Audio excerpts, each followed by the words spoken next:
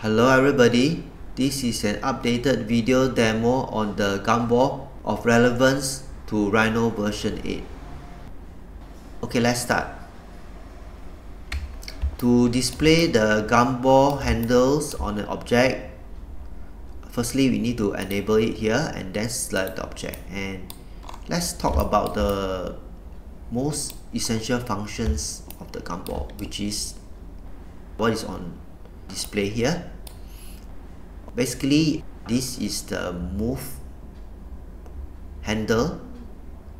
This is the rotate handle and then this is the scale handle okay?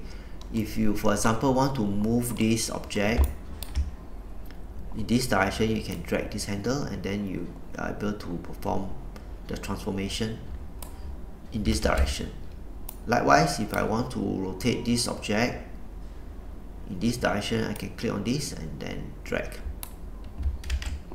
Similarly if I want to scale this object in this direction I can drag like that okay? Okay what if I want to perform let's say a precise movement instead? Okay to do that instead of dragging you click on the relevant handle and then uh, wait for the input window to appear okay? For example let's say I want to move this thing 20 units forward I can type 20 press enter. And you can see yeah it has moved 20 units forward okay? And similarly if I want to do the rotation I can click. And let's say I want to have a 60 degree rotation I can press enter and then you rotate 60 degree along this direction. Okay something like that. And then similarly for scaling let's say I want to scale this in this direction twice its original length okay click. And then you type 2 press enter. Yep get something like that. Okay you notice that there is uh, this widget over here okay this is a move planar widget okay. What this does is that okay let me just turn on the full view okay. What this does is that I'm able to perform can you see uh, movement free movement of the object on the designated plane okay. Can you see that on in the top view the object is moving on the specific plane okay but to be honest I don't use this too often. Okay beside the normal transformation the gumball can also be used to perform other processes such as duplication which I'm going to demonstrate now. Okay for example let's say I want to make a copy of this here. Okay you can press and hold the Alt key okay which is a duplicate function working in tandem with the gumball so press and hold the Alt key and then drag this arrow and then release and then you see I'm able to make a duplication of the original object okay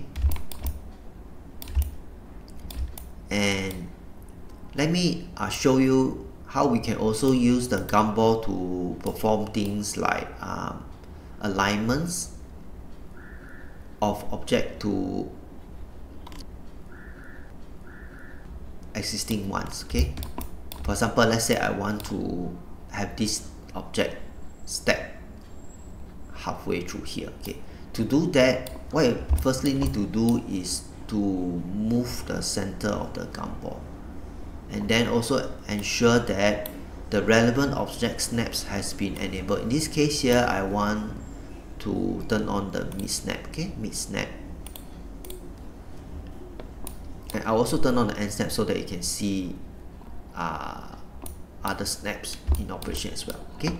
So first thing first need to move this to its new location. So in this case I want to move this here okay? So to do that right you double click and then this frees the center and then you can snap it here okay?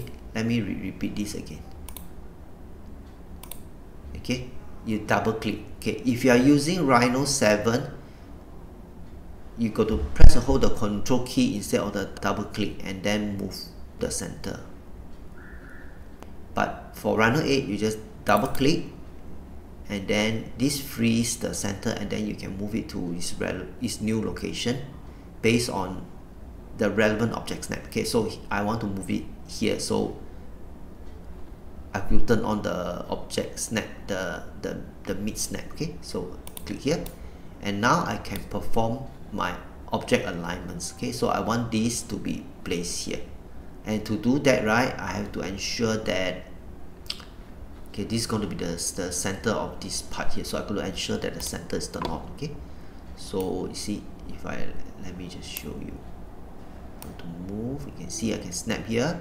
I can snap here and if I want to move to the center you can see yeah I'm snapping. Yeah so I got it. Yeah.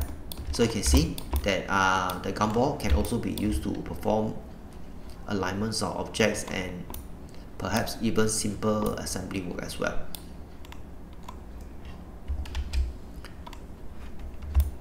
Okay now I want to show how we can also use the gumball to do some kind of modeling work okay? Let me delete this.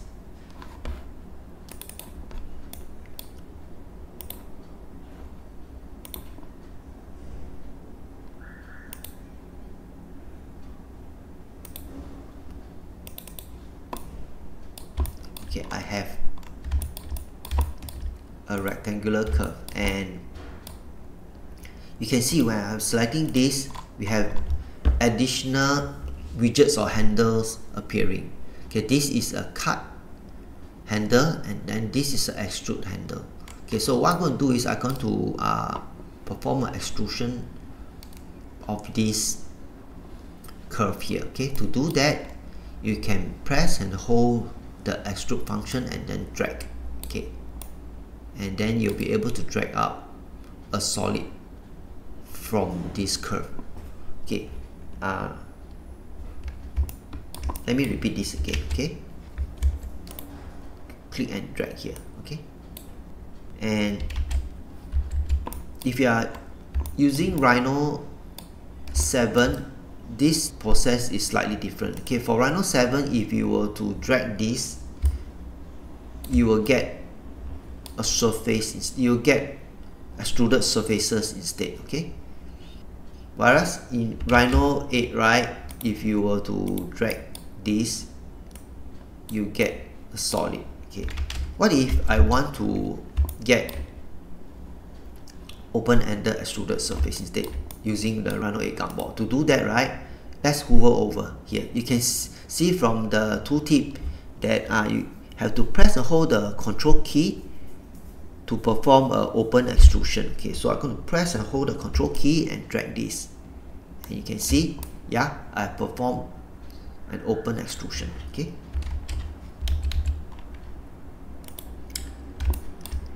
Let me extrude this. Okay now I want to demonstrate the cut function on the gumball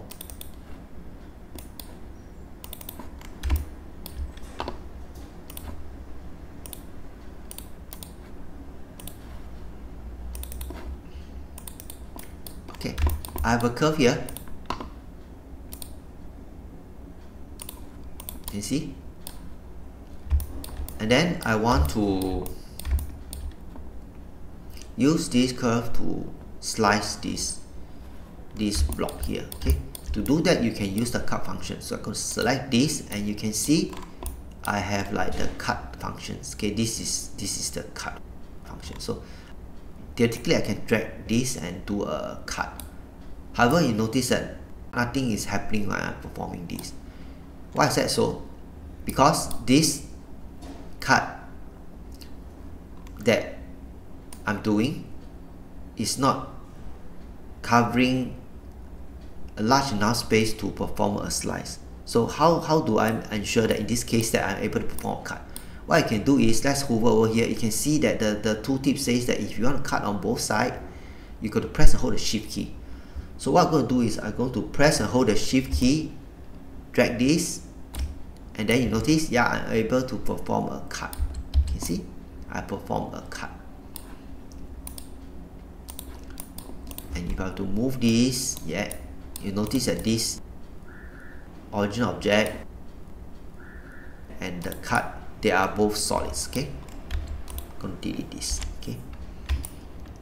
Okay let me show you another way of doing cuts as well as uh, balls okay? So I'm going to delete this. Okay now what I'm going to do is I'm going to draw a rectangle over here on this face. And to do that right what I can do is I can turn on the auto C-plane which is new on Rhino 8 okay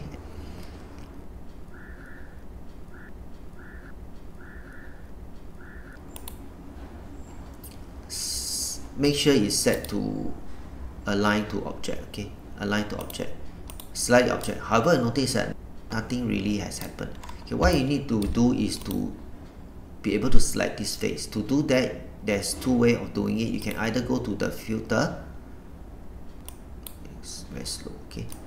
And turn on the subject and then select this. Or a faster way is simply to press and hold the shift control select this face so I'm going to press and hold the shift control, select this face, and you notice that now the construction plane has been aligned to the face, okay? And now what I need to do is I need to like reorientate the view, okay? To do that, right mouse click, set view to the, the plan, and then we can draw our rectangle over here, okay? So that's what I'm going to do now. I'm going to put this here I'm going to draw it at the center. Okay so maybe I just turn on the center.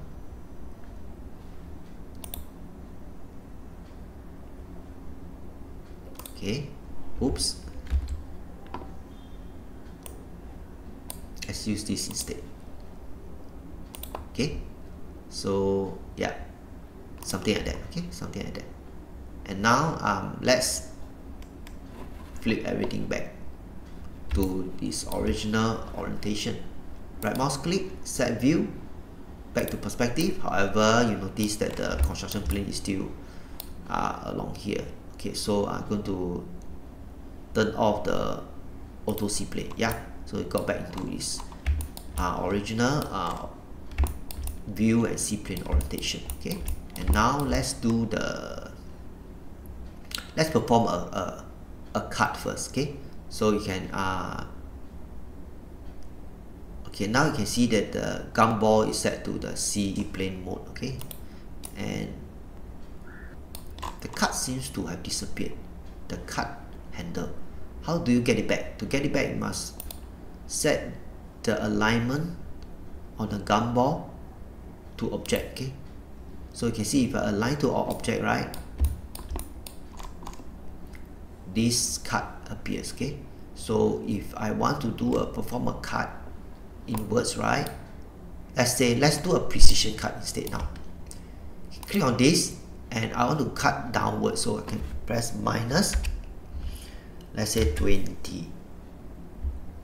you press enter and then you notice yeah I got the inward cut nice inward cut and this object will still be a solid okay I'm going to do the control Z and if I want to have a boss instead that means I have an extrusion up here that is also merged with the main body right? What I can do is let's select this again. Okay let's hover over here. You can see the tooltip says that to do a boss you got to press and hold the control key. So what I'm going to do is I'm going to press and hold the control key. I want to let's say extrude the boss here like that maybe with a thickness of 10 so I'm going to press and hold the control key. Type 10 enter yeah? Yeah so now you can see we got this boss extruded and then it's also merged with the main body as a single object.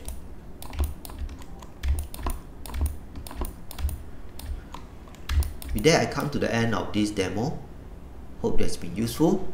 See you. Bye